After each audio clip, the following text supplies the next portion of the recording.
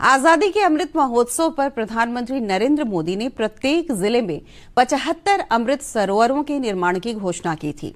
नवादा ज़िले में इस योजना को कैसे मूर्त रूप दिया जा रहा है, देखिए हमारे संवाददाता श्याम सुंदर कुमार के इस रिपोर्ट में।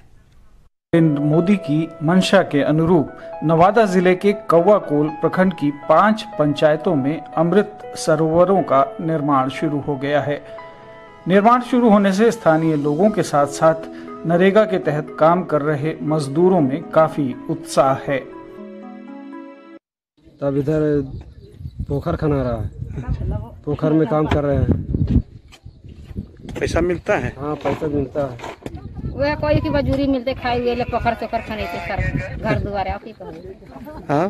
तो पोखरिया खने तो, तो तोहरा की फ़ायदा होतो? तो पनिया पीबै नहीं जानवर रहे धाना धुरा रोपबै खेती बाड़ी करबै कैसे बचबी?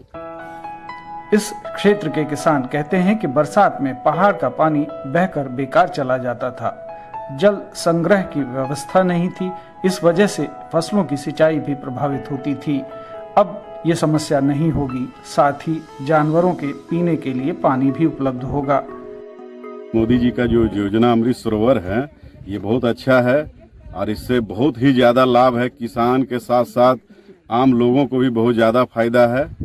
इसमें जानवर यहाँ पे चरात बहुत सारा है और उसको पीने के लिए यहाँ पे एकत्रित पानी गर्मियों में दिक्कत होता है इसलिए अभी अमृत सरोवर होने से बहुत ही ज़्यादा फ़ायदा मिलेगा।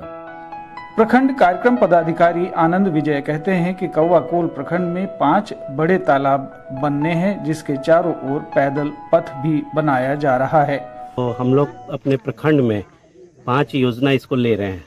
पाँच योजना में एक हम लोग के मंजिला पंचायत में बिंदी चेक है, जो कि बहुत महत्वपूर्ण है, बहुत ये लगभग अढ़ाई सौ बाई अढ़ाई सौ का इसका लेंथ है फीट का। तो बहुत बड़ा तालाब इसमें हम लोग बनाने जा रहे हैं। बिहार के अनेक जिलों में पेयजल सहित पानी का काफ़ी संकट है। नल जल योजना से तो लाभ मिल ही रहा है। अब प्रत्येक ज़िले में 75 पचहत्तर तालाब बन जाने से पानी की समस्या काफ़ी हद तक हल होने की उम्मीद है। नवादा से श्याम सुंदर कुमार की रिपोर्ट दूरदर्शन समाचार पटना।